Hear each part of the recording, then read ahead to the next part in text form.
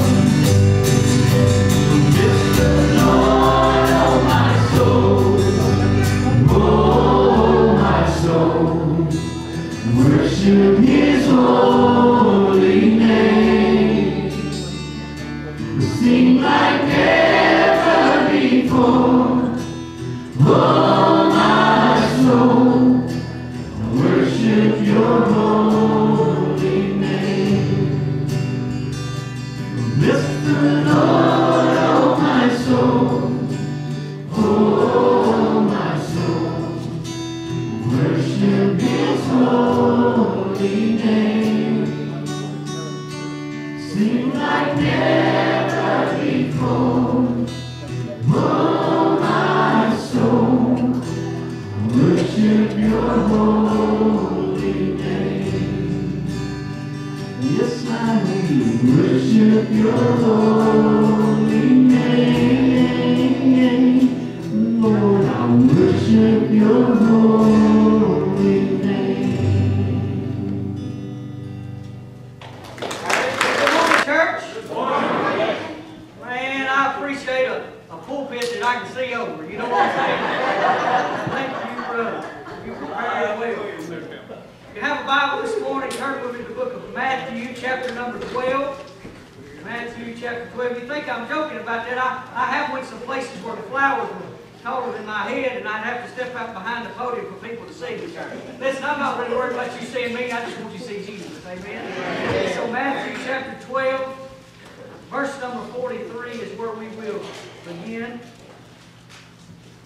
12, verse number 43.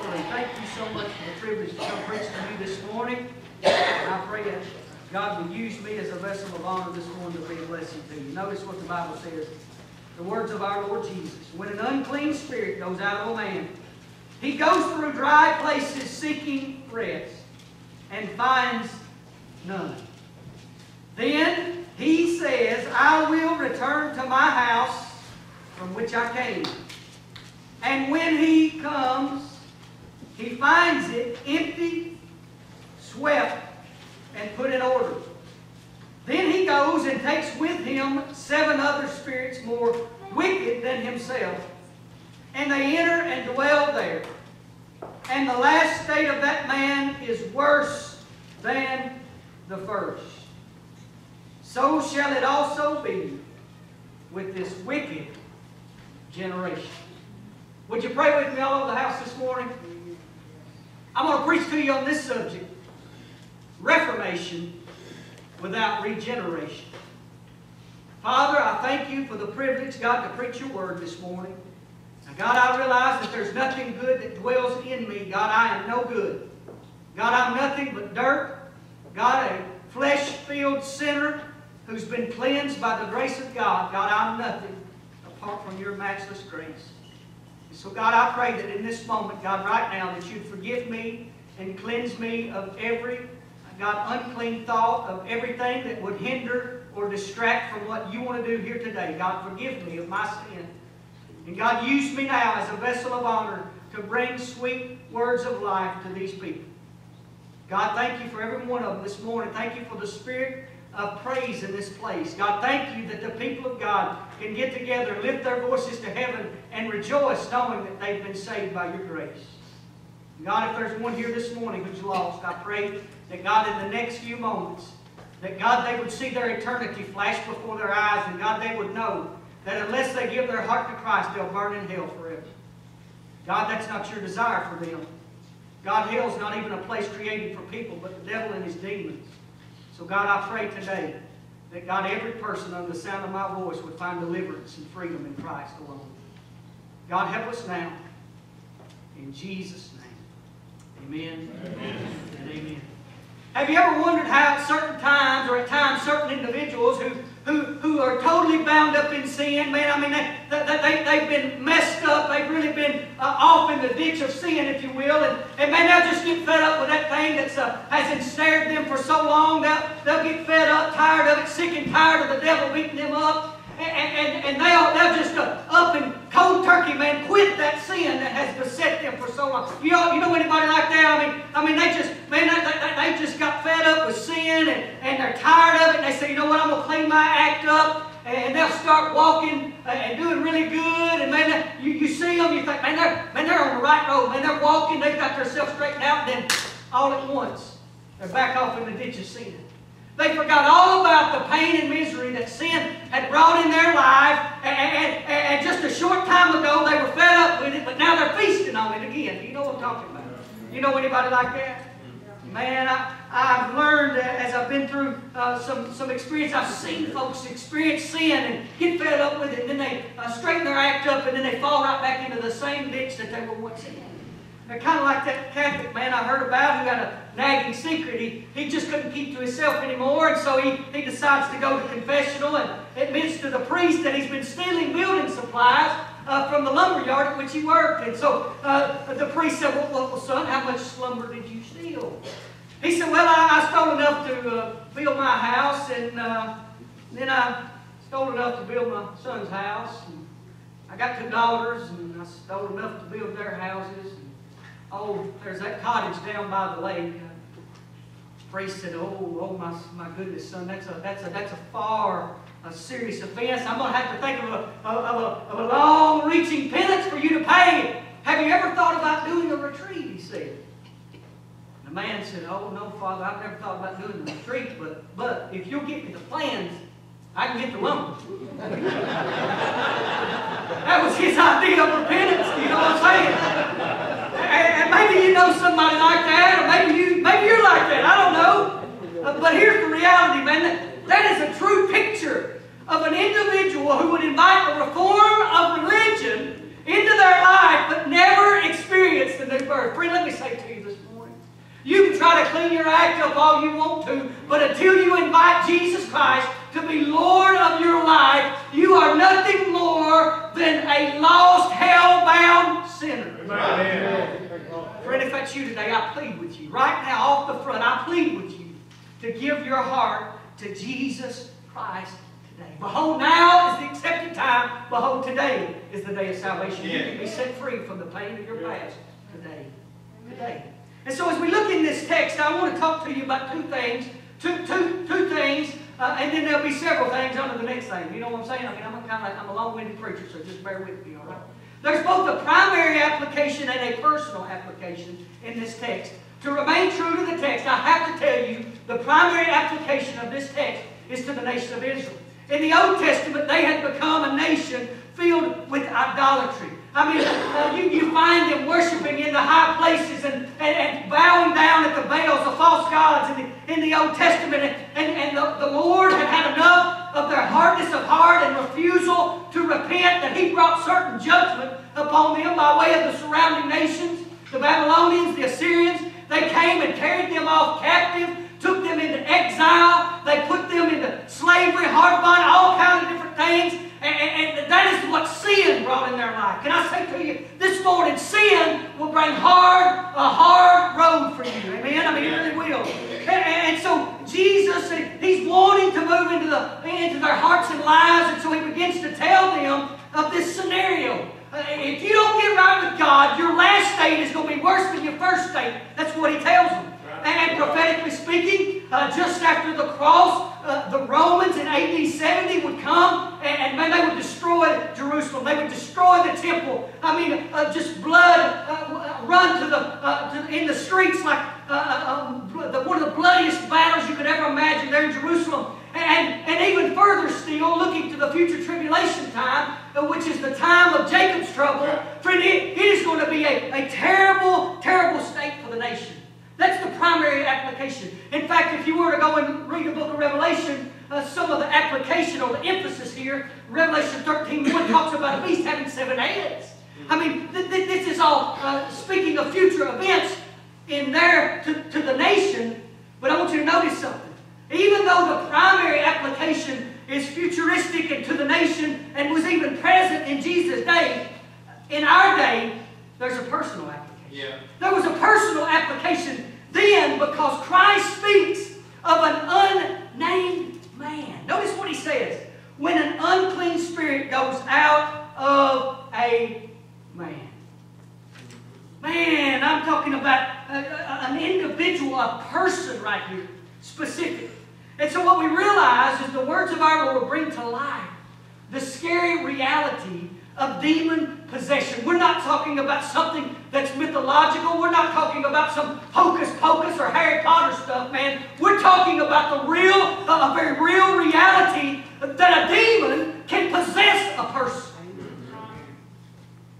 Now, prior to my going into full-time ministry, I'd never experienced anything like this. In January 2011, I became a student pastor of Hillcrest Baptist Church, and I, I had been somewhat uh, uh, um, I don't know what the word, uh, uh, maybe protected, if you will. I, have been stuck off in the hillsides of Gordonsville, Tennessee, and, and, so I never, I never really realized that, uh, much like this, I've read the Bible, but I never experienced it personally. That is until I went to the psych ward at McFarland Hospital. There was a young lady there that I went to see. She was not crazy. She had a tremendous drug problem. I mean, she, she had been, she'd grown up going to church some. Her mom and daddy had raised her right uh, to a certain extent. They had shown her what the truth was in Christ. And, and, and so, uh, yet, uh, she, she just chose the wrong. Do you know what I'm saying? She chose the wrong and walked off in sin, and it brought her a lot of pain. Can I say to you this morning, if you want to choose the dirtiness of drugs and alcohol you may wind up walking with the demon-possessed people. Do you know what I'm saying? You better realize it, friend. God in His grace is trying to show you something today.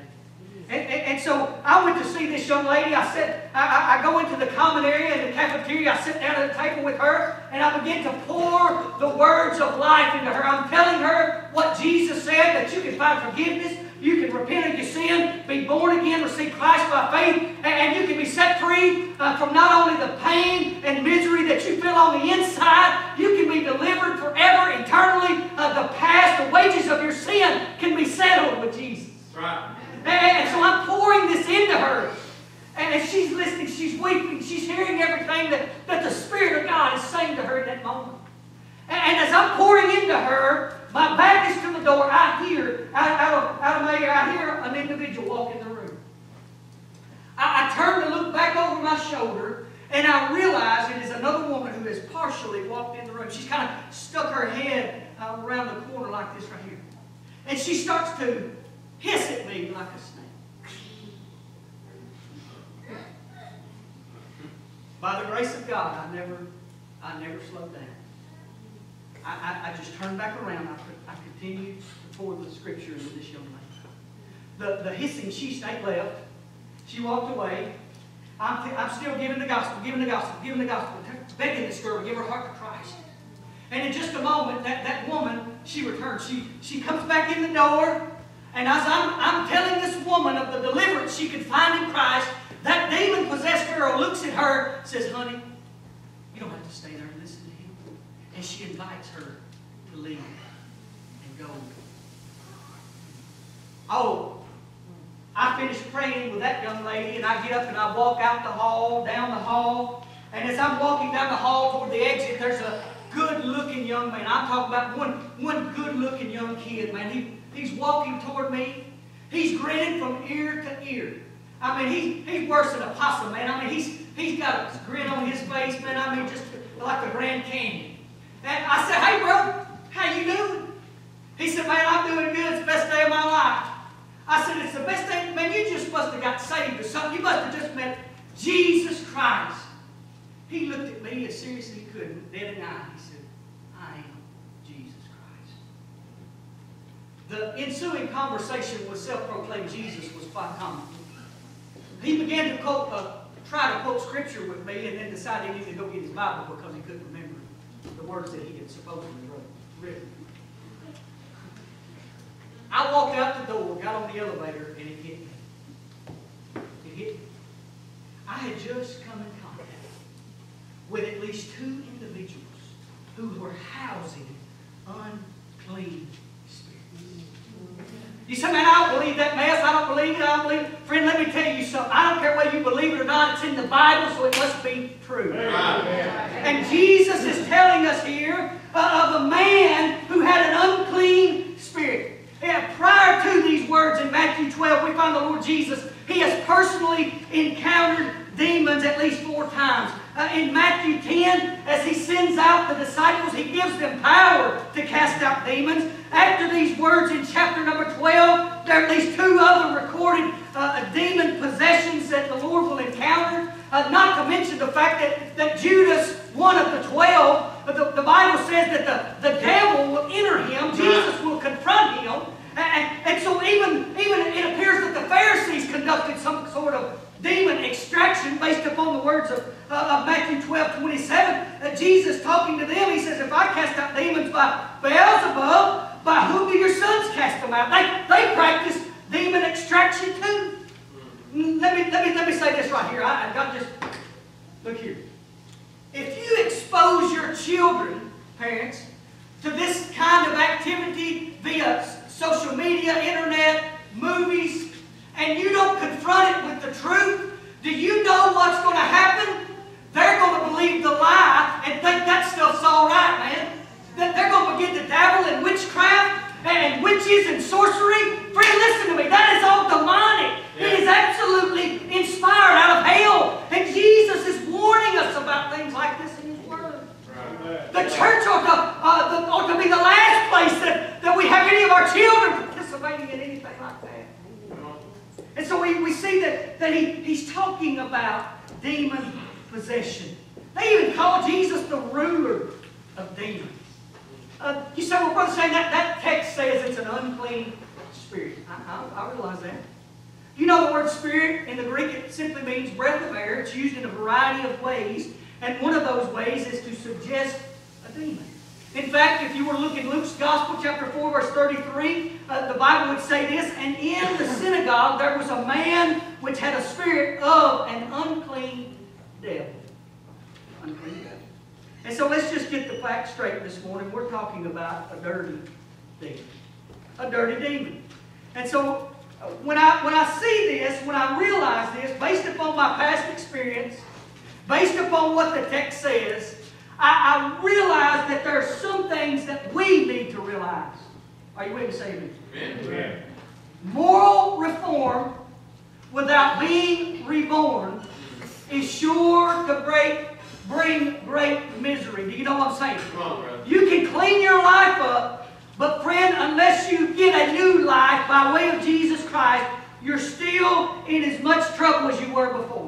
Uh, let me say this. Uh, an individual who is demon possessed, uh, or who you might think is crazy, listen, they don't need sedation by way of medication. They need regeneration by the Holy Ghost of God. Man, we can medicate only. We, you cannot medicate a sin problem. Yeah. That's what America's trying to do today. Friend, I don't know you, you don't know me, but I'll tell you this much. If you'll just get right with God, things will get easier in your life. Yeah. I didn't say they'd be easy, but they'll get easier. Man, I met Jesus about 13, 14 years ago. He changed my life. I carried the pain of my past around with me every day. I'd go to bed every night, wondering if I'd wake up in hell. I'd get up every morning fighting the same battle, and not until I said yes to Jesus did I find relief. Yeah. You said, you ever had any problems since then? I've had a bunch of problems. Man, I've had. And so, man, I just want to say to you, you can turn over a new leaf if you want to, but you need a new life. Amen. You, you, you, you can set your goals and you can do all this, and man, resolutions are not the answer. Jesus is the solution. Yeah. Amen. You know, I had an opportunity to deal with some recovering addicts and go to AA meetings and counseling, and those things are good in their place, friend. Listen, if you're, you're still struggling with addiction here this morning, I want, I want you to understand. They'll teach you of a higher power. But friend, there's none higher but God. Yeah. Right. Jehovah Jireh, Jesus Christ, the Lord, my Redeemer, my healer. He's Jehovah Rapha. He's the one who can bring forgiveness and comfort for your pain. And so as we look back in this text, I want you to notice first this discussion. Notice the discussion. Verse 22, there was a man who was brought to Jesus. Look back to verse 12, chapter 12, verse 22. The Bible says that then one was brought to him who was demon possessed, blind and mute. And he healed him. This man housed the demon, and, and the Lord, being uh, Lord of all over demons' disabilities, he, he, he heals that man. And so in that moment, you know what I can see? I can see the words of that song, "The Great I Am," come to life. You, you ever sing? You ever sing that song here? It says the mountains shake before him, the demons run and flee. At the mention of your name, King of Majesty, there's no power in hell or any who can stand before the power and the presence of the great I am. And right there, Jesus says, He just rebukes that demon and He extracts him right there in front of that crowd. And so, so here he is, that, that miracle takes place, and the Pharisees accuse Jesus of being Beelzebub, the ruler of demons. That's just like a bunch of religious folks. Uh, to begin to point name, point fingers and say, well, well, that are you. No, listen.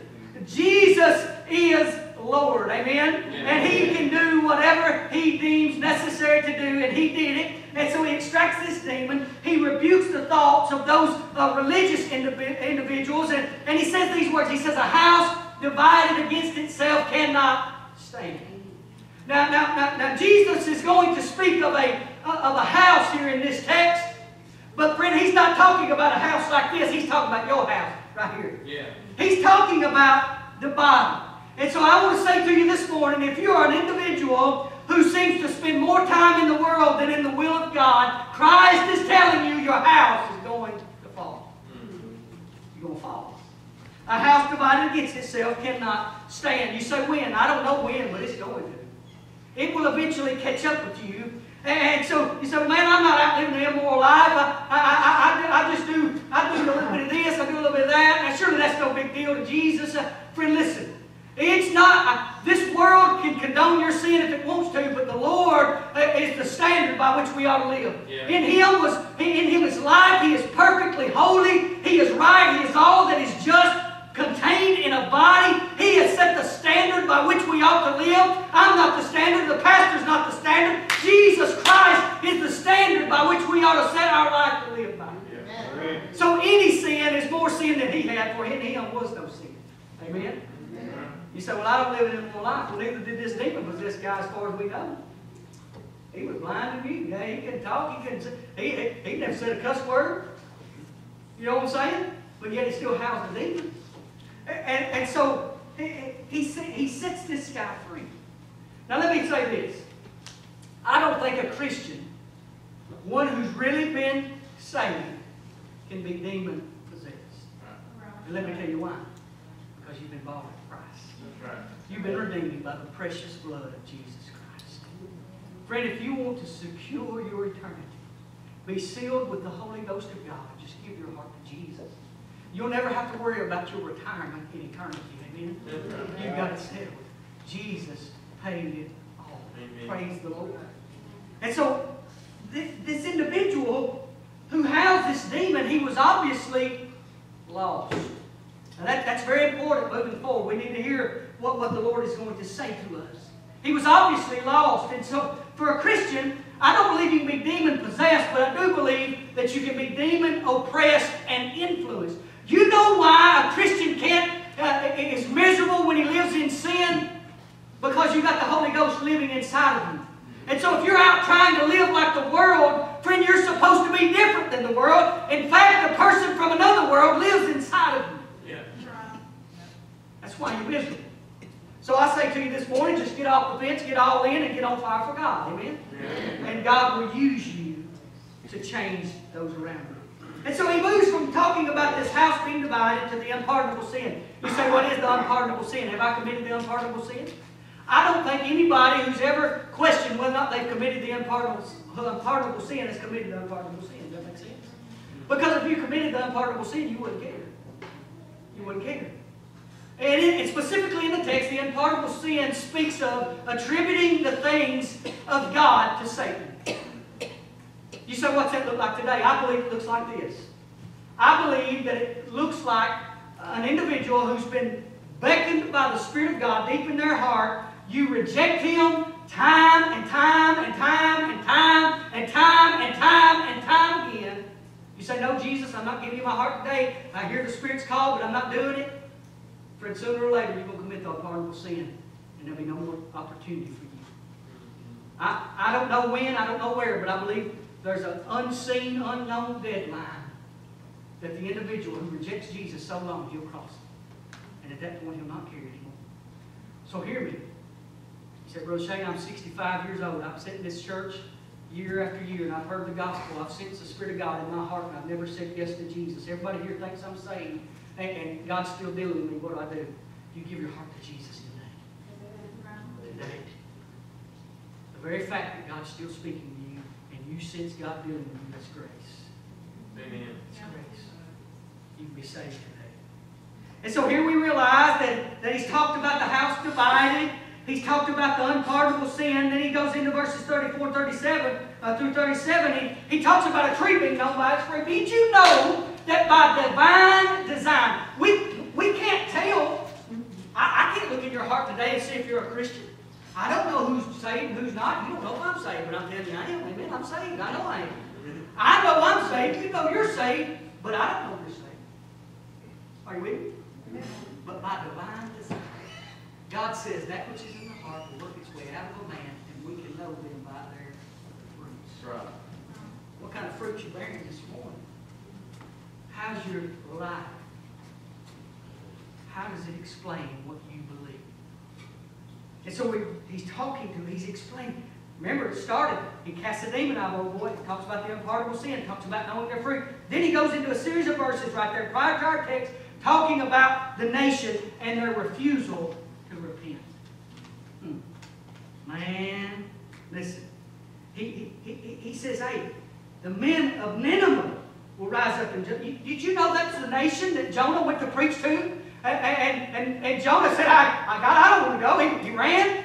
And, and then God puts him in the belly of a whale, right? And he spits him out on dry land and sends him to Nineveh. Uh, Jonah shows up up out there. He preaches the, the whole nation, the whole Assyrian capital. They turn to God and, and they get saved, man. And in just a matter of a hundred years, they're back off into sin. They're going to rise up in judgment against the nation of Israel. Friend, can you, can you imagine? Can you imagine at the judgment? If you refuse to receive Christ and you're standing there before the great white throne of God, who's going to rise up in judgment against you? Who's going to rise up and say, hey, hey, oh boy, he heard the gospel. That, that lady, she heard the gospel. Do you know that in that day that you're going to stand before God, you're going to give an account of every single thing you have done. God says He's going to open the books. You're going to be judged on the books, not the Christian. See, he's already been through judgment by that time. He's received a reward to lay at the feet of the Father and at the feet of the Lord. Unbeliever today, listen to me. You step out of this life, there's only one place for you. You say, well, God surely wouldn't send me to hell. Friend, God's not going to send you to hell. Right. You're going to send yourself. Right. That's what's going to happen. And so as we jump back into the text, we see this discussion. But notice this demon, verse 43, an unclean spirit. He's a, he's a dirty demon. Let me get in the locker room with you for a minute. Invite me in. Say, come on in. Come on in. All right, I'm coming. Look here. This dirty demon, uh, he's called an unclean spirit. Uh, an unclean spirit, as found here, is, is said not to be found anywhere in the Old Testament, but the idea of a demon is. And they're always related to idols, idolatry, idol worship, and it's considered unclean. The word unclean, it's defined as this impure, foul, and implies to be morally lewd. That's, in, that's indecent, vulgar, I mean, anything that is uh, just dirty. That's what we're talking about here in this word unclean. So if you're, if you're a parent in the room and you got a child that, that, that maybe is involved in athletics, I want to say something to you. Uh, I preached to teenagers for a long time, and I, ever since I got saved, God opened the door to youth ministry, and that's where I began to, uh, God began to use me. And I preach to young people about the idolatry found in sports today. And, and, they refuse it, they reject it a lot of times. Most people say, Well, Shane, and you just crazy, you don't know what you're talking about. But listen, I, I began to think about this word unclean, and, and, and I realize what is it, what is it that dominates every male sports locker room? Every one of them. I played football for 12 years. And every time I go in the locker room, it, it wasn't just that, that, that dirty pad smell. You know what I'm saying? It was the spirit of uncleanness. And I, I realized that, that uncleanness dominates the locker room. Not just the male locker room these days. Female locker room. There's a spirit of homosexuality, lesbian activity all over the Middle Tennessee. All over. You see, I'm, I believe I've seen it with my own eyes. I, I've watched young ladies' lives be destroyed. Mm-hmm. And, and so what dominates the locker room? It's the uncleanness of immorality, uh, of alcohol, of drugs. I'm telling you today, far too many parents have promoted the idea of their children being gods in America, but they're absolutely blind to the idol worship found therein. Man, listen to me. If you get up on Saturday morning and you paint yourself up orange and white and sit in front of the TV and lick the, lick the remote every time they get a first down, do you know what I'm saying? What is wrong with you? I love, I love football. I enjoy it, man, but, but you need to open your eyes, man. You're crazy. You know what I'm saying? You say, I don't get orange white, I deal with crimson and red and white. Well, hey, man, you're crazy too. Good night, man. Get that on fire for Jesus. Yeah. Hmm. Have you put your children in a place of prestige and honor? Are, you, are you pouring every ounce of your resources into them? Now, don't get me wrong. Don't misunderstand what I'm saying. They are a gift from God, man. You've been giving them. Uh, the man who, uh, who has uh, his children are, it's like a, like a hunter with his, his quiver full of arrows, man. I they're, a, they're a heritage from the Lord. Hey, but we ought to pour into them the things of God, not the things of the world. And so if you're, if you're just sacrificing them to the ball gods, man, build up the body of Christ like that. Don't, don't waste your life. Don't waste their life. Give them unto the Lord. Many young people's lives will be destroyed by this unclean spirit that moves in first by way of the locker room. I'm telling you, you say, I don't believe it. Well, just go to Grundy County and ask those parents of that young man who was assaulted a few weeks ago. You think that's clean? That's unclean. That is a spirit of uncleanness.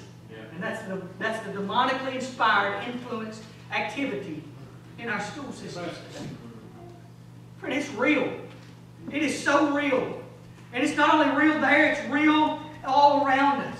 But notice here, not only this, this, this, uh, this discussion and this demon, but notice his departure. He goes through, he, he goes out of a man, and he goes through dry places seeking rest and finds none. The phrase gone out is one word in the Greek, and it's used in a variety of applications in the New Testament. Uh, it's used in relation to the departure of demons from two men in Matthew's Gospel, chapter number 8. Uh, here in this text, it's very important because we realize that there's only one who has the authority to cast out a demon Jesus. But man, you got to get the picture here. Something, something incredible is about to take place. Verse 22, Jesus casts a demon out of a guy. Nowhere through this text do we find him leaving. I think he's still present. Why is that important? Jesus is about to say this in verse 44. Verse 43, he said that demon goes out. But watch this. Verse 44, when he finds no place to rest, he says, I will return to my house. Dude, he just said that that thing could come back. Now, would we all agree this morning that the extraction of a demon is a miracle? It's a miracle. But friend, can I say to you this morning, you may have experienced a miracle, but if you didn't give your heart to Christ, you're still lost. You say, well, I met God down on the roadside and he, he pulled me out of a burning car. Well, did you repent of your sin and give your heart to Jesus? You say, no. You're lost. Biblically, you're lost. You need to be saved. Friend, listen. Just because a miracle takes place in your life does not mean that you've been born again. You have got to come before God and agree with Him that you're a, a sinner in need of a Savior, man. And accept Him as Lord. You say, what does it mean to be Lord? It means that He calls the shots in your life. You say, does that mean I won't ever mess up? No. But it does mean that you'll repent day by day, giving your heart unto Christ over and over and over again. Because He's Lord. You say, can I get saved more than once? No. But if you say you maybe won't have no problem openly identifying with Jesus. He's Lord. Notice this demon's discomfort. He goes through dry places. No water. No water. Maybe that's what your life's like today. You just, just no comfort whatsoever. Uh, no relief, no water. Can't find any rest. And that was what my life was like. Couldn't find any relief. I see the words of 1 Peter 5 8 alive right there. The devil walking about like a roaring lion, seeking whom he may devour. Friend, listen. Jesus would, will save you, but Satan will destroy your life. He decides, this demon decides to go back home. He just, Jesus just kicked him out, but yet now says that he has the ability to come back. And so I, you say, well, how did even, how did this demon get out? How, how did that all take place? Here's what I believe. I believe that somebody brought this man who was blind and mute. I believe they drug him to Jesus. I believe that man, in that moment, he, he wanted deliverance from that thing that was hindering him. And he cries out to God for deliverance. Are you with me? And somehow, some way, by the grace of God, there's deliverance. But yet, now, as soon as deliverance has taken place, this is how it goes down in the lives of individuals today. Maybe, maybe, maybe, maybe I should say it like this. Maybe a soul winner knows somebody who, who's lost and they've got a drug addiction. And maybe one of you who, who love the Lord, you, you go and you try to reach them, you, you bring them to church, and, and at the invitation, man, you just drag them down to the altar, and, and, and that person in that moment of desperation, they want deliverance, they cry out to God, and God somehow, some way, supernaturally brings deliverance. But as soon as deliverance comes, that individual who never gave their heart to Christ, they just wanted relief from their problem, they never give their heart to Jesus, and in just a short while, they're back in sin. Are you with me? Listen to what Jesus said. The last state of that man is far worse than the first. When you come to Jesus, you better come with all your heart. Not just half-hearted looking for some help in time of need, but giving yourself wholly unto God. That's what He wants. That's what He desires. And so He finds His house empty. You say, what's that mean? The Bible says plainly that when you invite the, the Lord into your heart, the Spirit of God will supernaturally invade your house. He takes up residence there. You become a temple of the living God. You once housed a dirty demon, but now there's deity living in you. And so you, you've been saved, you've been born again, bought with the precious blood of Christ, redeemed not with corruptible things like silver and gold. I mean, you, you've been born again. But not this guy. Not the one who just wants a little help because he's hurting. Friend, give your heart to Jesus today. Notice, notice the assumption of ownership here by this demon. He says, I'll return to my house. My house. Bro, this thing done squatted on your lot, man. I mean, he, he's sitting on your couch, kicking over your coffee table. He's taking your lunch money and buying his favorite snacks. Do you know what I'm saying? He's feasting on the things of the flesh. And he's using you as a slave. That's what he's doing. Maybe he looks great on the outside, but on the inside, you're suffering today. Man, this guy, that's who he is. He's filled with death and desperation. And Jesus is explaining to him that if you don't give your heart to Christ, this demon can move back into your life. as I studied this text, and as I heard a guy preach on this, uh, this, these verses one day, my mind automatically went to Mark chapter 5. You have a Bible, turn to Mark 5. Mark 5, I'm going to read the text and I'll be, I'll be finished. Somebody needs to, to surrender to the Lord today, man. Somebody just needs to fall before Christ and say, God, I give you everything I am. And notice, notice Mark 5.